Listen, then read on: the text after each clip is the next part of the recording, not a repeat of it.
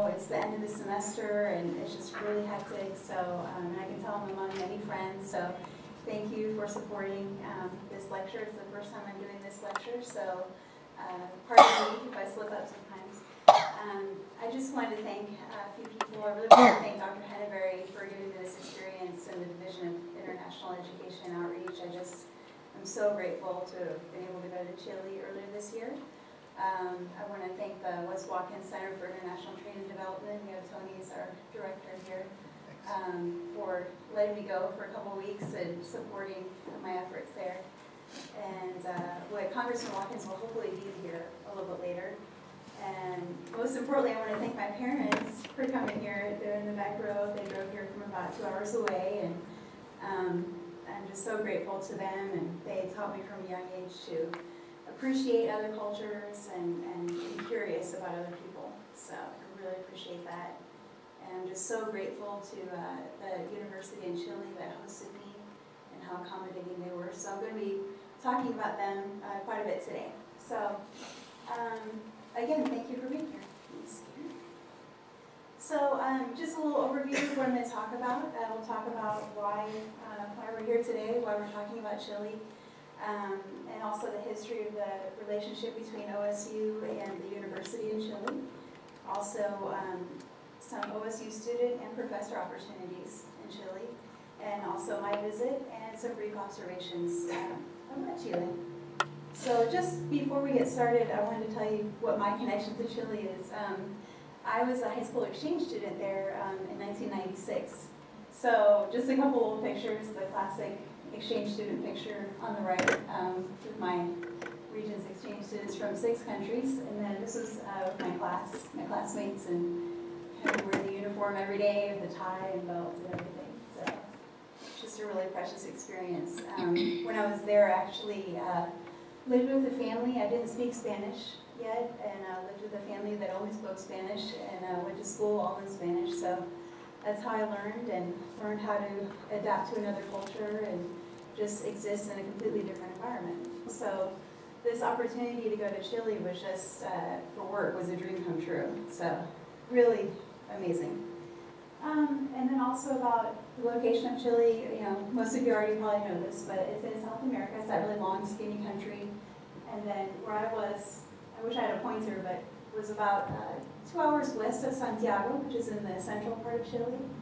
And the neat thing about uh, Chile is it's such a long country that it has just about every geography you can imagine. It has deserts, mountains, lakes, glaciers.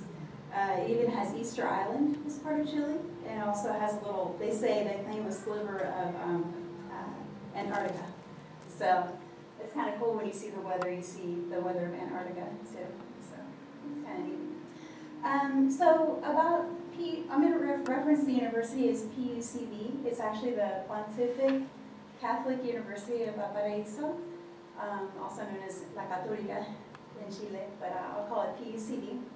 So just a little bit of history. Uh, it was founded in 1924 um, by uh, a woman who actually was married to an Englishman. So um, there's some kind of international roots there from the beginning. Um, and what's interesting is it's similar to OSU um, in its value of outreach. Um, and it actually has, let me see here, nine schools and 35 academic programs. And it has 16 campuses across the fifth region, which is where, um, where this university is located. And um, I was able to visit two of those campuses. And something else that's neat about PUCV is that um, it's similar in the outreach mission, like we have with our land grant mission of uh, outreach, or I should say, research, extension, and instruction. Uh, PUCV, their um, values are um, excellent professional and academic education, solid human values, and strong commitment to public service. So there are a lot of parallels between PUCV and OSU. So it, it makes for a really complementary pairing. Um, and then also as far as their academic programs, they offer um, undergrad, grad, and graduate programs in various subjects, um, including, let's see, business, economics, agriculture science, oceanography, art, architecture, natural sciences, law, theology, education, humanities, and engineering. So I thought it was interesting, their undergraduate engineering program is actually five years long. So you can imagine once you leave that program, you've pretty much got a master's degree, but anyway, it's pretty comprehensive. So, um, also something else interesting I, I saw that was kind of parallel to OSU is that they have this Office of Technological Transfer, and that was created to disseminate research findings to the public and private sector. So I know we have that. We value that here at OSU. So just some history about the OSU and uh, PUCV relationship. It's been developing over the past couple of years. Um, you may remember uh, Pia Guyman was the uh, OSU, or the International Studies undergraduate advisor. Um, her uncle was actually a professor at PUCV and he was a visiting professor here in 2011. Then we had a student group go with Pia to PUCV and also she hosted President Hargis and Ann Hargis there too. So it's good to have support from the top. Um, and then also two OSU students did long-term study programs there and um, I think one actually stayed there to live. So anyway, it's easy to fall in love with Chile, I think. Um, so just to kind of go into some opportunities for students and professors at PUCV. Um, there's short-term, there's long-term, tailor-made um, internships. Something I thought that was really neat when I was there uh, visiting with the International Relations uh, Office is that they can tailor-make a program for you. So let's say you want to learn Spanish and you do say, a four-week, six-week Spanish class, then you can go ahead and do an internship with a local business. So that knocks out two big, you know, uh, areas of study that you want to do while you're in college. So um, I think there are just some great opportunities. And also another benefit is that through the School of International Studies, you can actually enroll in OSU credits. And that's both undergrad and grad. So I can't promote it enough. It's just such a great opportunity. Um, and then let me see here just based on my experience and what I observed while I was there, is that uh, PUCV and Chile in general have run really top-notch um, study abroad programs. They'll find you a family to stay with. They'll make sure you have transportation. They just, they'll really care for you while you're there. Um, you won't ever wonder uh, what you're supposed to do. They're very careful about that. Um, I even had the experience, I was helping out a um, MIAP. Are you all familiar with that program? The graduate program in international agriculture. Um, they are required to have an international experience and it doesn't necessarily have to be academic, it just has to be international. And so PUCV was actually willing to work out a homestay for the student even though she wasn't going to be enrolling in academic credit. And they were going to line her up with um, teaching English and so it's they're very accommodating. So, see. so I just wanted to um, show you a couple of views of the campus. Um, it's a it's a historic campus. Uh, it's like I said, it was I believe built in 1924, um, and it was neat when I went there. They showed me a presentation of these palm trees here. When they first planted them, this presentation, they were just maybe you know six inches high or something. So they've grown quite a bit. Um, so another couple of views. Um, when I was there in January, um, it was right before their summer break. So there weren't that, yeah, as you know, OSU gets like this towards summertime, there weren't that many uh, students around. But that was kind of a little a common area. And then I put the cafe there, it's the Good Day Cafe. I don't know if you went there, Ryan, but I imagine they have lots of Australian students. Um, and then I also put this sign down here at the bottom. Um, and the rough translation says, um, the science of learning from others is to accept different ways of thinking. So I thought that was pretty insightful. So um, just a couple more campus views. Um, I put this up here because from just about everywhere on campus, from the second floor and above, you can see the mountains in the background. And something that's neat about uh, La Católica and this campus in Valparaíso is that it's a very urban area. It's, there's a lot of hustle bustle and it's just a very busy area, but you can still kind of escape a little bit and look out the window and see the mountains. So it's just a really good place. So um, these are a couple pictures of the international relations staff that I visited with. Um, they were very accommodating. Um, when this this trip kind of came together last minute, so um, when I got there, they only had about two and a half days of events scheduled for me, even though I was going to be there for uh, 14 days. so um, they were so accommodating, and we ended up working together to get the, the rest of my time scheduled with different activities this time around. so, um, just to kind of let you know, the, uh, Camila right here, she was my guide the whole time, so just really watch out for me. And this is Marcos Aviles, who's the Director of International Relations at PUCV. And then myself, and then um, we have uh, Monica, who's actually a graduate of Puebla in Mexico. So it's kind of a small world that we have that, con- that connection there right in their office. So she's very attached to OSU. I believe she worked at the internet or the study abroad office for a while, so some great connections there. See. Also, um, at PUCV, the cool thing is they have an office for a German study abroad there too. The DAAD, I don't know if you've heard of that, D-A-A-D. Um, and then they have a partner office with uh, ITESIM, which is one of our partner universities. So, great connections there. Um, so while I was there, my second day, I actually took a tour of the rural campus, which is in Quillota, about an hour away from the city, more inland. And so uh, in, in Quillota, they have the School of Agronomy there. And so uh, the first place I visited was an agriculture experiment farm. And just kind of looking around, do we have any ag majors or people with ag background here? Just with Dr. Henry, yeah.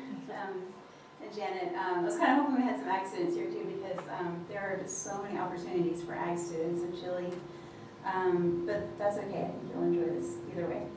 Um, so at the agriculture experiment farm, of course, you know, surrounded by the Andes Mountains, um, they test, uh, they do experiments on agriculture or ag, agrochemicals and fertilizers.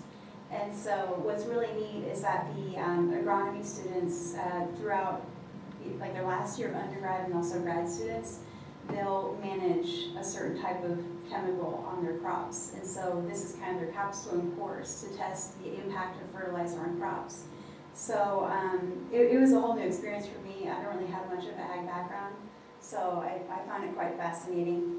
Um, and then actually I'll show you something you might get a kick out of here in a sec. Um, these were just a couple um, other couple other views of campus. It's just it's so different than the urban campus. It's very relaxed. And actually, my guide, um, Camila, had told me that she could always tell a student that came from Quillota that was going to uh, the urban campus because she said they were just so relaxed. I mean, well, it's kind of, I don't know, comparing, I guess, Oklahoma to New York City, who knows, but um, it was just, it was a beautiful campus. And then, um, so what they did was they gave me a tour of the agri, or of the, of the farm, and um, they kept these really meticulous records, and it was all by hand. So they had these just big old books of, of quantities and, and data that they took for the farms. And then, so anyone that actually goes into the fields has to go through this disinfection chamber and wash their shoes and everything. And so um, I, I kind of didn't come as prepared as I thought. I, I as I kind of, they didn't tell me I needed some rugged shoes. so they were kind of unhappy with my shoes. Cute sandals on. And um, anyway, that was that was a recurring issue, but that's okay. Um, so it was just fascinating. And then the next thing, actually, I should point out, the gentleman here in the white shirt is actually the director of the School of Agronomy. And I was very fortunate because the rest of the tours that we did in Quillota happened to be with former students of his. So um, if we go to the next slide, is actually an agribusiness meeting with a company called Propal. And it turned out that their export sales manager is a, a former student of his. So um, I was able to gain access to this uh, factory that's normally not open to the general public. And so um, basically what we did was uh, we met with the export sales manager and the plant production manager, Propal.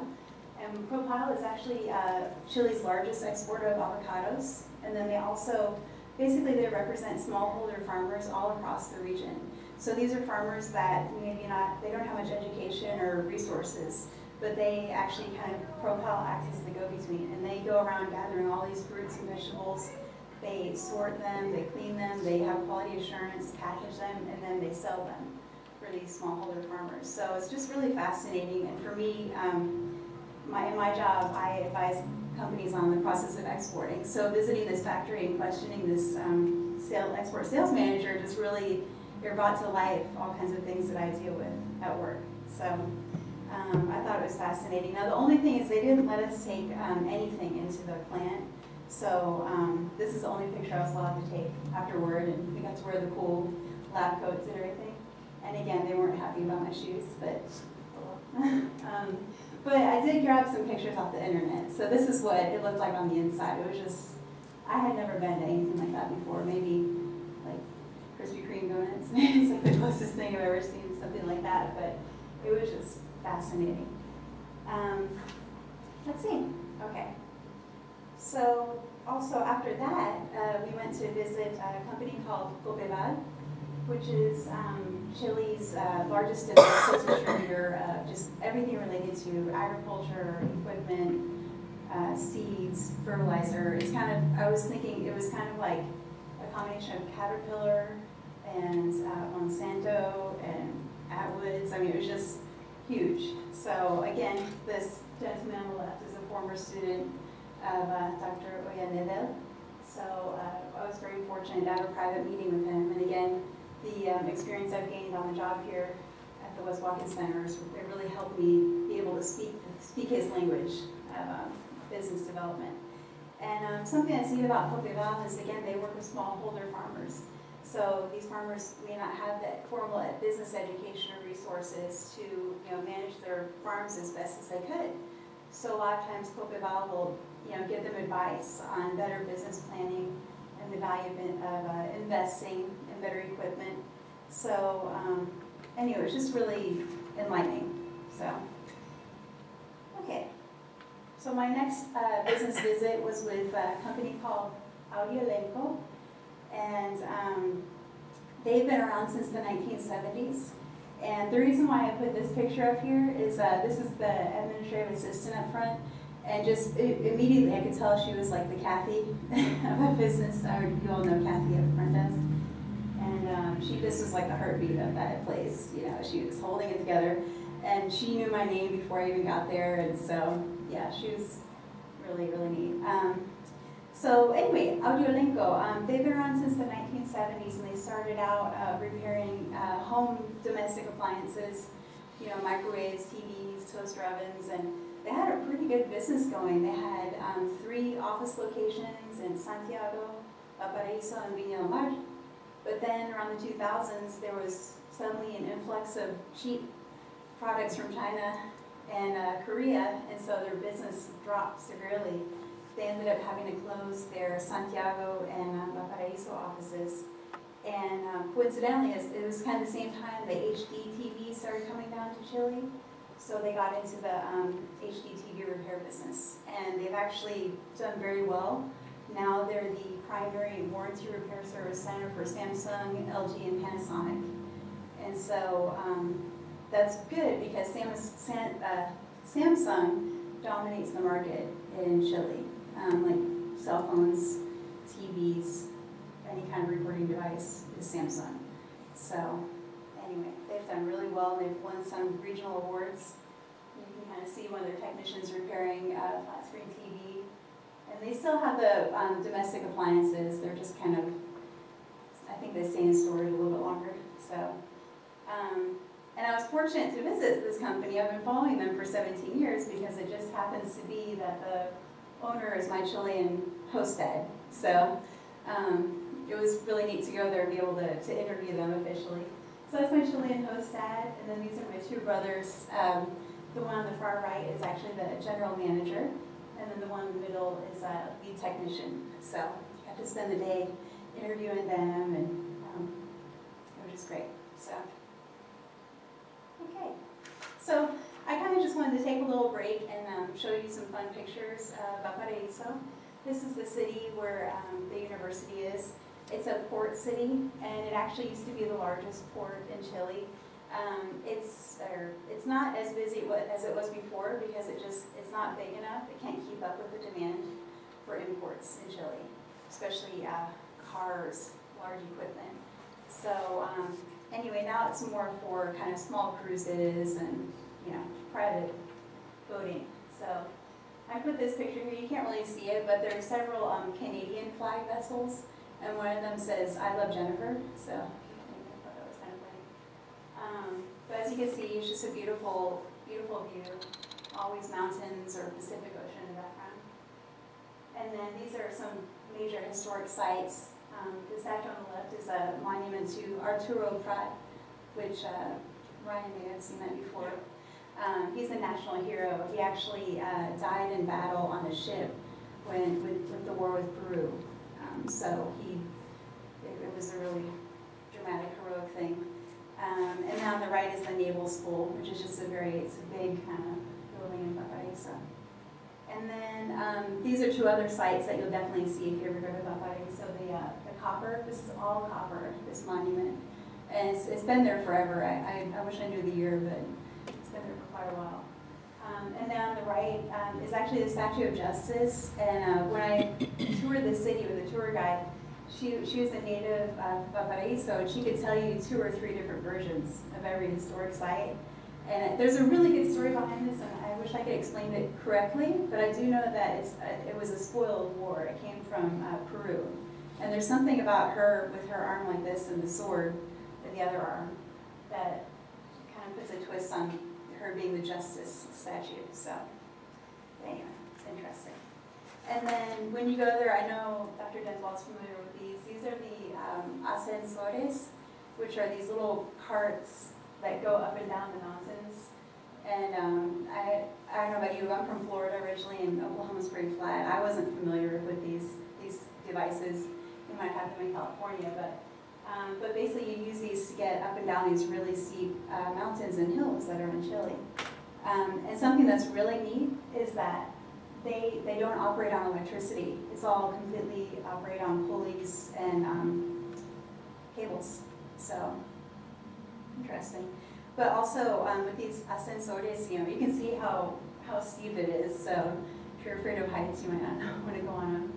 Um, but I remember when I lived there in the 90s, some of these ascensores, they were just really rickety. so you can see the walls kind of expanding and you know, you see the gaps and um, anyway, but you just trust that it works, so. life in its hands. Um, so a couple more just really pretty views of Valparaiso. Um, it's just it's just kind of a it's a very historic city. It's actually uh, how do you say it? Uh, one of the UN's cultural heritage sites. So um, just, since it got that designation, I believe in I think it was 2008 or 2006. It's there's been a lot invested in attracting tourism to Valparaiso, so it's a very beautiful city. Um, and then I couldn't help taking this picture. I don't know if you can tell, but that's an orange house. So I thought I had to get that for OSU. So, um, but I was very fortunate when I went there. It was pretty much springtime. Everything was in bloom and just, you know, lots of blue sky everywhere. Um, and then this one, one more last scene.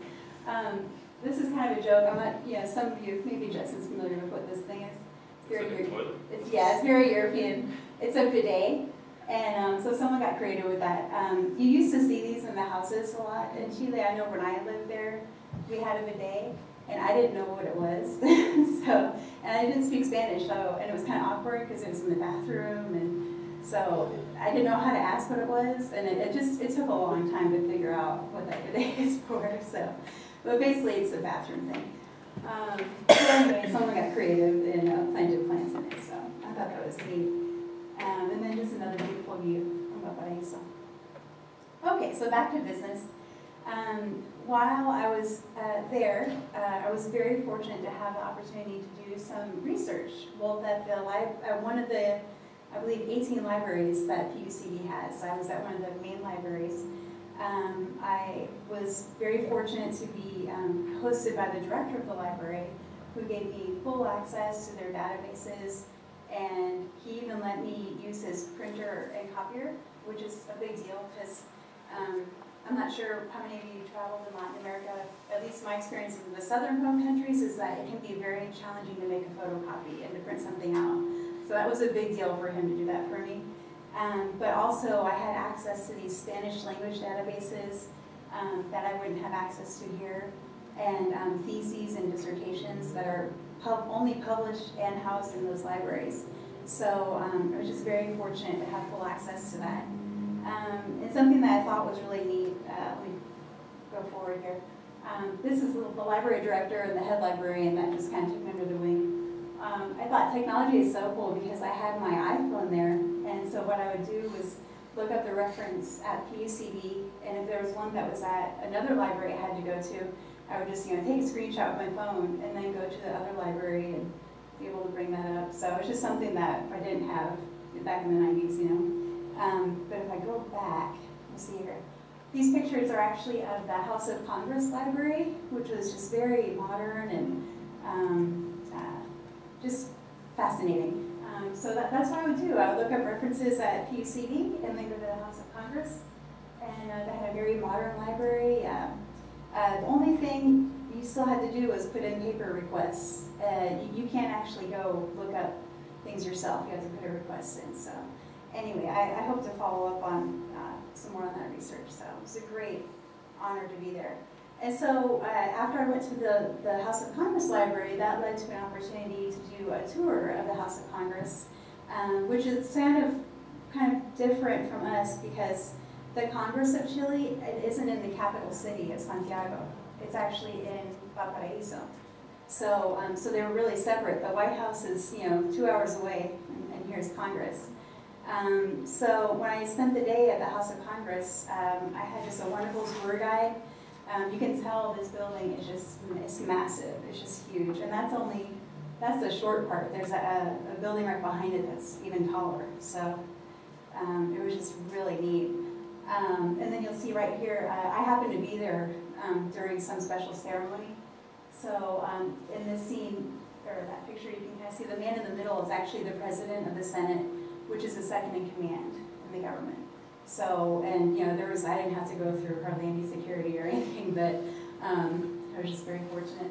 And then this on, on the left is actually, it's the national seal of Chile. And what's interesting is that this is carved, it's a marble stone relief carved, but it's actually um, attached in like a squares because the area is so earthquake prone. Um, they, the artists made it that way so that it wouldn't be as vulnerable when earthquakes thought that was interesting. And then right here actually is, uh, is there a, a, replica of the Declaration of Independence of Chile, um, actually signed by um, their national hero, their founding father is uh, Bernardo O'Higgins. So, um, but the reason why it's a replica is because the original was in their, basically their White House, which is called La Moneda in uh, Santiago. But on um, September 11th, 1973, you, some of you may know there was a coup in Chile, and their White House basically got bombed. And unfortunately, their Declaration of Independence was destroyed. And at that time, there just weren't that many pictures of it. So um, there was an artist that took it upon himself to recreate this Declaration of Independence, but it just took years of research and um, dedication, but he finally was able to make that recreation. So now it sits at the House of Congress. So, And um, afterward, I took just a little walk around. It's just a very impressive building. Um, some of their gardens uh, around here, they actually have trees that represent all the different regions. There's 15 regions. And then they also have plants and trees donated from other countries or gifted from other countries. um, and then that on the far right is the symbol of the House of Congress. It's that three C's, Casa Congreso, Chile. So anyway, I had to kind of be like uh, discreet when I was walking around because there were security police officers and eventually they walked up to me and told me, you know, you can't go any further. So I was like, yeah, I got those pictures when I did. Um, okay, so uh, something else I did while I was there, just so um, pleased to be able to do this, but I went to visit a regional office of ProChile, which is the basically the Export Assistance Agency of Chile. And um, what's really neat is that they do a lot of what, what I do in our office at the International Trade Center.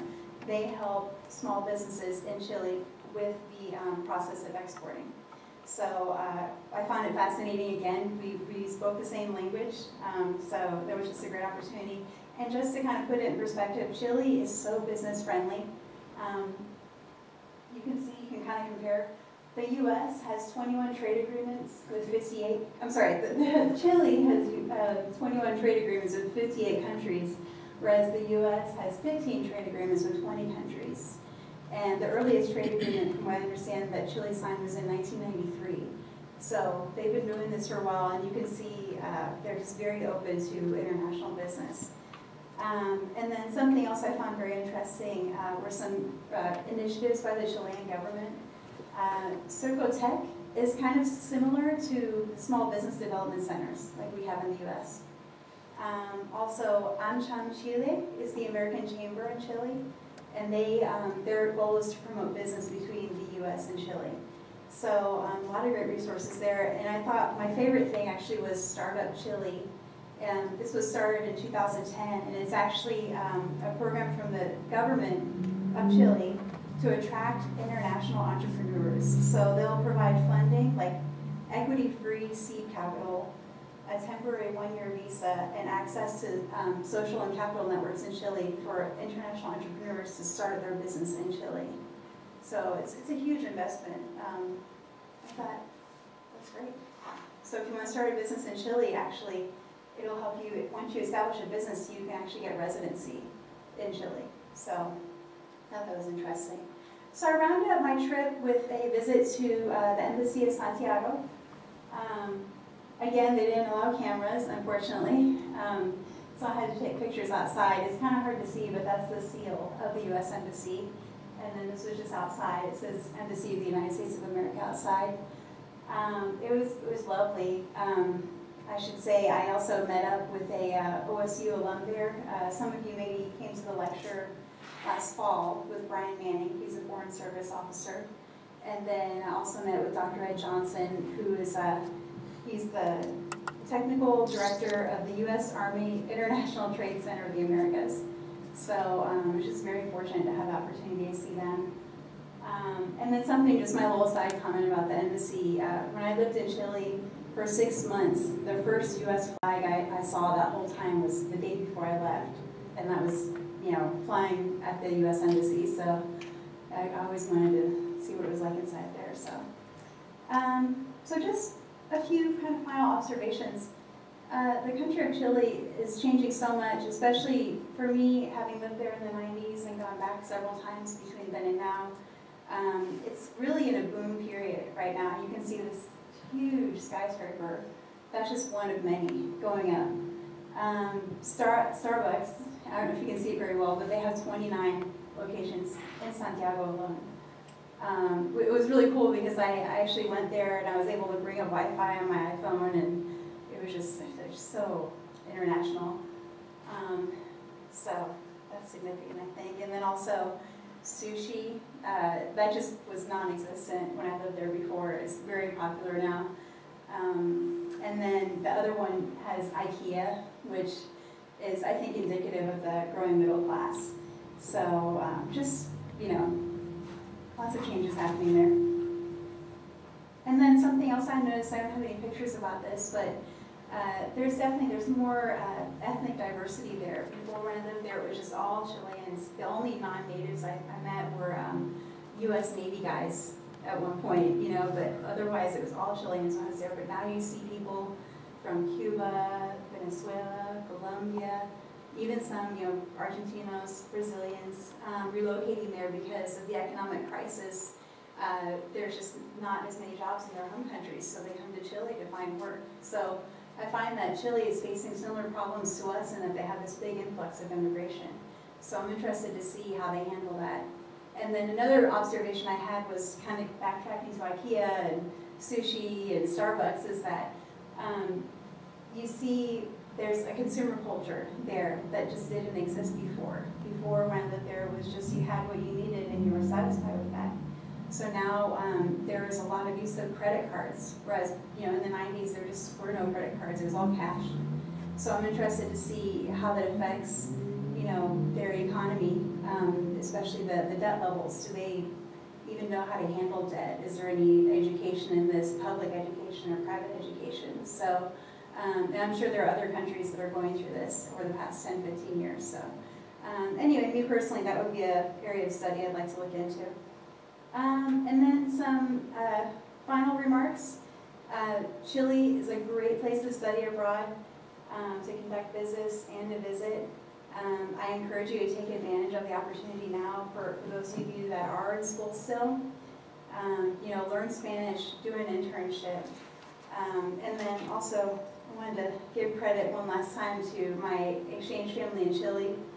Um, they hosted a going away party for me. Got. Um, and also my one last now. Um, so anyway, I do have some materials here. I think I went much faster than I expected, so that's good. Um, but I have some materials here about PUCV. Um, I also have some uh, fancy chocolate from Chile, if you would like. Um, and it does have nuts, though, just to let you know. I'll set every year. And then something else I found at the House of Congress Library that you just don't see every day was were these uh, documents translated into the four native language languages. So the language from Easter Island, um, Aymara, Mapuche, and Quechua. So anyway, if you want to just check it out, it's really neat. And then I have a couple brochures about the ProChile agency if you'd like to browse through those. So um, anyway, that's my presentation for now. Any questions? Or? Good to go? I got, I got a question. Yes, Tony? Maybe explain, I'm curious, I had heard that before and I heard you refer to the fifth region. Explain how Chile Oh, divides, yes. how Mhm. they divide their country up. That's an interesting question because when I lived there, there were just 13 regions. There were actually, it's kind of like we have the 50 states and Washington DC. When I lived there, it was, uh, it was 12 regions plus Santiago was the 13th. But now they have actually 15 regions. These numbers, right, instead of a Mhm. name for the region. Yeah, so uh, the area of Valparaíso and Viña del Mar is called Quinta Región, which is the fifth region. So, um, When did they replace the nastiest names for some of the regions Uh, traditionally? I'm just curious if you don't know, that's okay. I'm not sure. It's kind of I wouldn't be surprised. I mean, there's definitely, there are names for different areas, like people from Valparaiso, they'll call them um, porteños, because it's on the port. Right. So, I, my, my exchange brother, actually, we used to play a game where we, he'd say, I'd say a city, and he'd tell me the name of the people from that city, you know, so. And the thing about, I guess kind of, um, a little off topic, but about Chileans, the thing that I found is that they're very witty and so funny and just, um, the, their Spanish is a bit different than other countries, I think partially because they're isolated by the mountains. Um, but they're just very, um, they're very conversational and always have a story to tell. And, you know, my other exchange brother, he only speaks in slang. So, you know, I just love listening to him because it's just off the charts. So, I don't know if that answered your Yeah. question. It's just kind of unique because usually you don't find a lot of countries that give regions just numbers. Usually you hear some kind of name, so just curious. Yeah, um, sometimes they call it, um, Valpa- like they'll say Valparaiso, but they're including all these different cities, kind of like Oklahoma City has Edmond and Livermore, so. Okay. Thank you. You're welcome. Any other questions? And any cu- unique cultures or something? Sure. Um, I mean, yes, it is a very, it's a unique culture. Something I really like about Chile is that they, they're very um, conscious of relationships with your family and your friends. And some parts of Chile still observe the siesta, where every, all the store, or most of the stores close down from about like 12 to about 3 or so. And you go home, you have lunch with your family, um, you take a nap, and it's just great. And then, but then the stores open up again, and then they stay open fairly late, 10, 30, 11.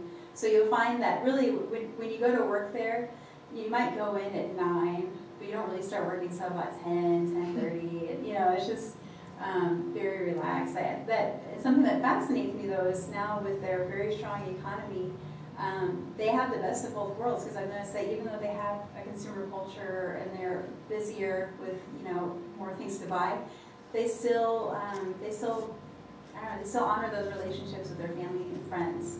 They have something called onces, which is uh, tea time in the afternoon. It's around 7:30.